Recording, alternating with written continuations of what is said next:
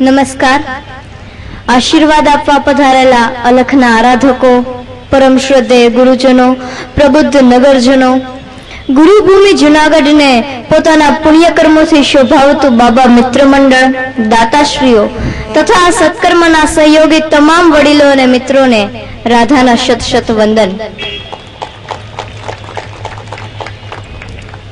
પરોપકારાય ફલંતી વૃક્ષાઃ પરોપકારાય વહંતિ નદ્યઃ પરોપકારાય દુહંતિ ગાવઃ પરોપકારાર્થમિદમ શરીરમ વિષયનો ઉઘાડ કરું તો આજના આ પાવન અવસરે આ એક ખૂબ જ અનુરૂપ અને સુંદર વિધાન અને વિષય બંને છે પરોપકારાર્થમિદમ શરીરમ આ શ્લોકનો અર્થ જે છે કે પરોપકાર માટે વૃક્ષો ફળ આપે છે, પરોપકાર માટે નદીઓ વહે છે, પરોપકાર માટે ગાય દૂધ આપે છે.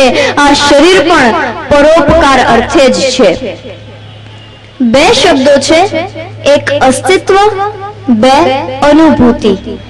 આપણી આસપાસ ઘણું બધું અસ્તિત્વમાન છે. પશુ, પંખી, વનસ્પતિ, માનવ અને માનવ નિર્મિત અનેક વસ્તુઓ જેની આપણને અનુભૂતિ નથી.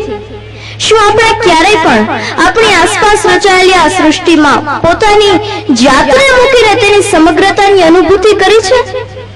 આ અસ્તિત્વનો વિચાર કરીને તેની જરૂરિયાતો વિશે જાણવાનો પ્રયાસ કર્યો છે? હા, સજ્જનોની શુભેચ્છા અને સંતોના આશીર્વાદ વરસે ને, ત્યારે હૃદયમાં આપોઆપ પ્રેરણાનું ઝરણું ફૂટે. મન કોઈ શાંત ખૂણે બેસી જાય અને કોઈ અજાણ્યાની સહાય માટે પ્રભુ પાસે નિસ્વાર્થ ભાવે કંઈક માગે. તેની પરિપૂર્તિ થાય ત્યારે આંખના ખૂણે ઝળકેલા એક નાનાશા અશ્રુબિંદુમાં જે વિનાશ વર્તાય ને તે છે આ સમગ્રતાની અનુભૂતિ અને આ પ્રતીતિ આ દેહથી કરાયેલા પરોપકારથી જ થાય છે. પરોપકારાર્થ મિદમ શરીરમ. આ સમગ્રતાનો એક ભાગ છે. અબોલ અને નિરાધાર પશુ, પંખી, વનસ્પતિ, દરિદ્ર નારાયણ લોકો, વૃદ્ધો, અપંગો, ઉન્મત્તક લોકો, જેને ક્યાંય લાગણીઓના આવરણ નથી. ભારત વર્ષના પ્રાતઃ સ્મરણીય અને યુગ અવતારી સંત શ્રી સ્વામી વિવેકાનંદે દેશના યુવાનોને આવા લોકોનું આવરણ બનવાની પ્રેરણા આપતા કહ્યું છે કે જેનું હૃદય દરિદ્ર માટે દ્રવે તે જ સાચો મહાત્મા. ભારત વર્ષની આવા હજારો યુવાનોની જરૂર છે. ધ્યાન રાખો, યુવાનોની.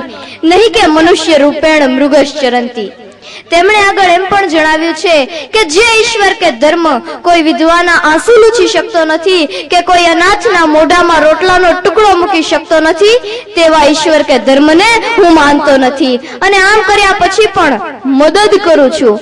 એમ કહેવું એ ઈશ્વરની નિંદા કર્યા સમાન છે. કહો કે ઈશ્વરની પૂજા કરું છું. જીવ માત્રની સેવા અને આસપાસની સૃષ્ટિમાં ઓતપ્રોત થઈને તેને નિખારવાની લગન એ સ્વયં નારાયણ ભાવ છે. બાબા મિત્ર મંડળ સ્વરૂપે આવા નારાયણ ભાવ ધરાવતા અનેક સજ્જનો આપણને સાંપડ્યા છે. જેમણે આગવી ખુમારીથી ખુદ ખુદાને પણ કહી દીધું હશે કે ત્રણ વાના મુજને દીધા હૈયું મસ્તક હાથ, બહુ દઈ દીધું નાથ જા ચોથું નથી માગવું તેમના નારાયણ ભાવ ખમીર અને ખુમારી માટે તો એમ જ શબ્દ હોય કે નથી ગમતું ઘણું. પણ કંઈક તો એવું ગમે છે, પણ કંઈક તો એવું ગમે છે. બસ, એને કારણે જ આ ધરતી પર રહેવું ગમે છે.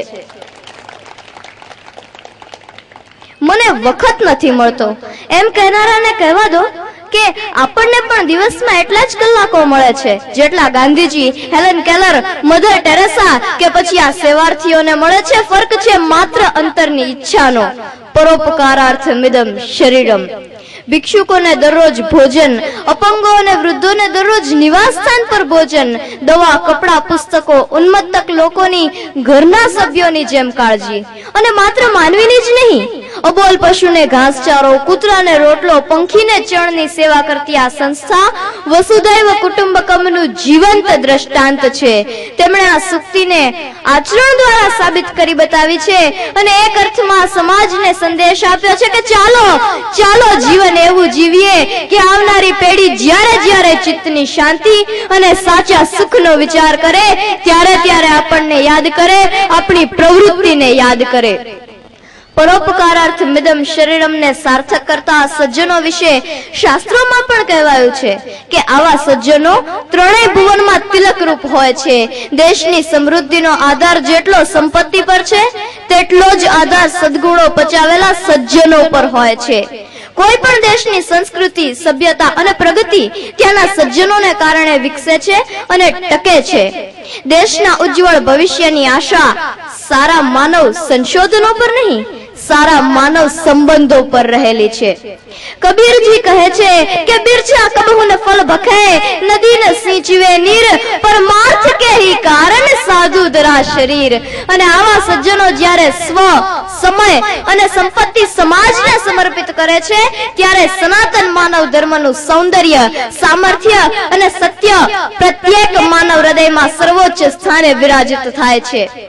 વડીલો પર્ણ જ્યારે પ્રેમ કરે છે ને ત્યારે તે પુષ્પ બને છે. પરંતુ પુષ્પ જ્યારે આરાધના કરે છે, ત્યારે ફળ બને છે. પોતાના ઘર કુટુંબની કાળજી એ તો પ્રેમ છે, પરંતુ આસપાસના અસ્તિત્વની કાળજી એ આરાધના છે અને આ આરાધનાના ફળ સ્વરૂપે આજે અહીં અનુદાનની સરવાણી વર્તાય છે.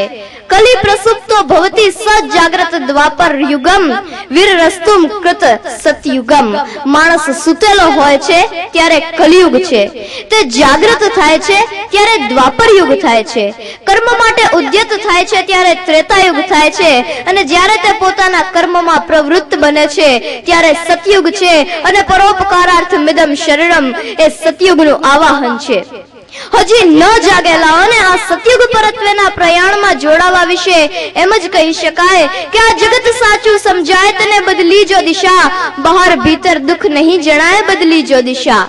એ જ બીબા ઢાળ જીવતર ક્યાં લગી જીવ્યા કરીશ? કંઈક નવું તારા વડે સર્જાય બદલી જો દિશા. ના જડ્યું સગળી રજળપાટ પછી પણ જે શક્ય છે, સામે ઊભું દેખાય બદલી જો દિશા. અને આમાં ભૌમના સપૂતોને એટલું જ કહેવાનું કે જ્યારે દીવો ધરે ને કોઈ. જ્યારે ઘનઘોર તુફાની રાતે બાર વાસત ને જોઈ, ત્યારે આપની વિજય સળગી જઈને સૌનો દીવો. એકલો જાને રે, તારી જો હક સુણી કોઈ ના આવે, તો તું એકલો જાને રે. એકલો જાને એકલો જાને એકલો જાને રે. તારી જો હક સુણી કોઈ ના આવે, તો તું એકલો જાને રે. અસ્તુ.